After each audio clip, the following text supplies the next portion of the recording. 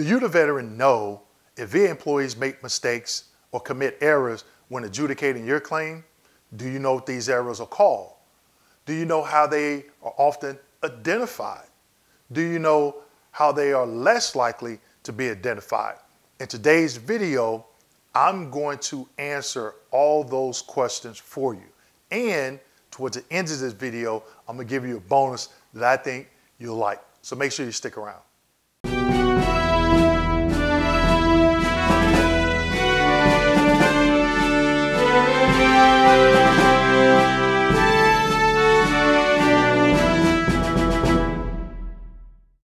Hello and welcome back to my channel. My name is Dewayne Kimble, owner and founder of KMD89 VA Claims Consulting, United States Army veteran, and retired VA rating specialist. Today's video. Do VA employees commit errors when adjudicating your claim? What are those errors are called? How are they often identified? Some examples of some of these errors.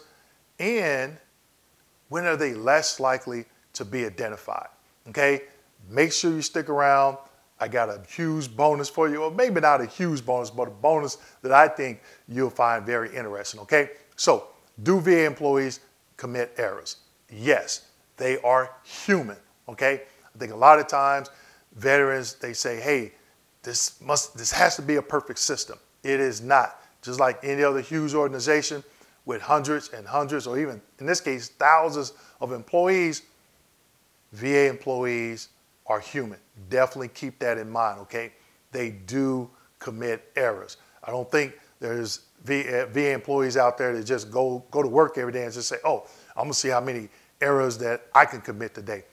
They don't wanna do that because they'll end up getting fired, okay? And you have to remember, in previous videos, I talked about VA employees on quotas, production quotas. They have to do so much work in a two week period, and guess what? Not only are they on a production quota, they're on a quality standard, uh, I guess, quota, if you will. Okay. When I was a rating specialist, that quality standard was 98%.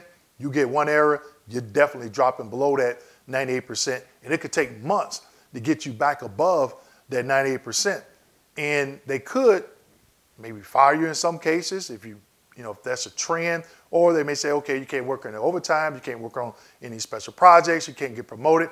So definitely there was some added stress there when you got an error or multiple errors, okay? Because they didn't give you time to go back and correct it. You had to go back and correct it, but they didn't really give you time to do it, all right?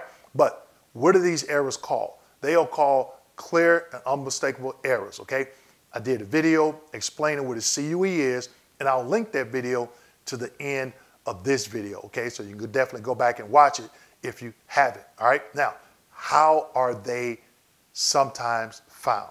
Okay, years ago, when uh, claims were paper files, a rater sometimes will catch their own error. I did it. Okay, maybe another rater will come behind that rater, a previous rater that did that previous rating decision, and see an error. Okay, but every regional office has a quality department, and in that quality department uh, they have individuals there that will pull five ratings a month for each rating specialist. Sometimes they catch it. Now, I've had that happen to me several occasions over my many years at the VA. And you get an error call. Sometimes I looked at it and I was like, hey, wait a minute, this is not an error. You rebut it and they overturn it. But if you rebut it and you lose that rebuttal, then the CUE is upheld. Now, sometimes it could go in the favor of the veteran, or sometimes it couldn't be. I've seen instances where uh, raters granted something and they got that rating decision pulled, just so happened that particular rating decision pulled for quality review, and the VA says, hey, you shouldn't have granted that benefit, you got to go back and sever. And I've seen it happen in reverse, where a veteran denied something, not, no, not a veteran, but uh, RVSR denied something, got their rating decision pulled by the quality department. They said, hey, you committed an error, you denied that, you shouldn't have denied it per 38 CFR or a particular court case, you should have granted it, okay? So it doesn't always mean it's negative for the veteran, all right? I've seen it go uh, both ways. Now, also, during the old days. VSOs, veteran service officers, they would come up and periodically throughout, the day and see if raters had completed any rating decisions for veterans that they represented. Okay, they would sit there at a table, go through it. Oh, yep, I see an error. A lot of them were pretty cool. They would find who did it and give it to the rater and say, hey, this is what I found. Can we talk about it? That happened to me several times. And I was like, oh man, you know, how did I miss that? You know, sometimes as raters, they rush. Okay, and when you rush, you're bound to maybe miss something. But, uh, you know, I can't say that any individual rater will intentionally just go and miss stuff. Again, it happens. They're human, right? Now, when is it less likely to be found? You know, it, it hurts me to say this, but it's the veteran.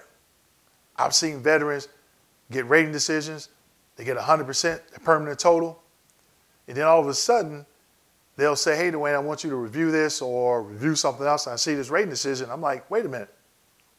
Did you know they made an error on your effective date? No, I got 100% of permanent total. I thought I was good. Nope, it's right here. That happened to me on my last claim, but I was able to identify it. They actually granted a particular increase that I was requesting. They only went back two months. And I got a retro, but they were supposed to go back two years. And someone said, hey, you better leave it alone. They're going to go back and open up everything. And I was like, nope, they're not going to go back and open up everything. That is a myth, okay? Sometimes Raters do go back and look at stuff, but that's a small percentage of the time that that happens, okay? But I knew that I had evidence that showed that I should have been granted the increase two years prior, all right? So that's another reason why not you should only be educated, not only you should be educated on the VA claims process, but how that process impacts what you do, what you have done with your claim. All right, that's very important. A lot of people just get that retro pay if they get service connected and they think they're good.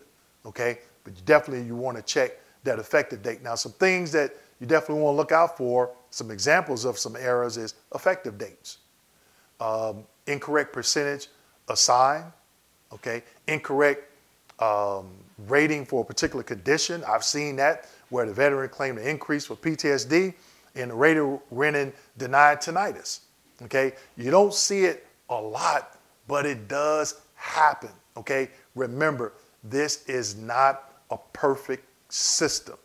People are rushing through hundreds and hundreds and hundreds of claims, okay? So that's why when I educate my clients, I'm like, hey, you, when you're educated on the process, you're giving them things that will help them grant you service connection. Now, that doesn't mean it's a guarantee, all right? We've talked about that in my monthly Veterans Roundtable, the monthly Q&A session that I give every month. It is not uh, automatic, okay? Again, has to go, the VA claims has to go through a process. Now, the bonus. The bonus is I'm going to discuss the first error that I received as a rating decision. Not only do I remember uh, what the error was, I remember the gentleman that did it. And, you know, it kind of hurt him more than it hurt me because he looked at me. You know, you spank your kids when they're young or whatever, you tap them on the butt, you're like, well, that hurt me more than it's going to hurt you, you know. But he was really nice. And I denied a veteran claim for tinnitus because the examiner gave a negative med medical opinion, right? So back then, I was on what they call second signature. Someone from the quality department was assigned to review my rating decisions before they went out. All right. So I denied it. Man, it's an easy claim. It's good, right? So he looked at it, came back a couple days later, said, hey, you did this rating decision. I looked at it. I'm like, yep, that's me. Well, I got to call an error on it. You denied the benefit when you should have granted it. I looked at it. I was like, hey, but the doctor gave a negative opinion. He says, I know but the veteran was diagnosed with, with tinnitus in service. And I was like, okay, but the doctor still said no. So he, not only did he point out the 38 CFR and the M21 that states if the veteran is diagnosed or is there a note of tinnitus in service, even though the examiner says no, we still have to grant the benefit. And I never forgot that throughout the remainder of my career. Now, I did a video on how you win your claim for tinnitus, and I'll link that video to the end of this video, okay? So you can understand the tinnitus and acoustic trauma. Um, so hopefully you'll be able to win your claim. But that was my first time, and like I said, I never forgot that particular 38 CFR M21 ever again. I never got an error for that particular, making that particular mistake. But I did get errors for other stuff, okay? Again, it happens. A lot of veterans think, hey, this is a perfect system. They shouldn't be making errors. It happens, okay? But the good thing about it, they can be identified, okay? So if you, the veteran, think that you have a CUE, make sure you educate yourself on what a CUE is, what a CUE, CUE is, and what regulation did that particular rater violate, okay? So that being said, make sure you like, subscribe, hit that notification button, and don't forget to share this video with your fellow veterans. Thank you.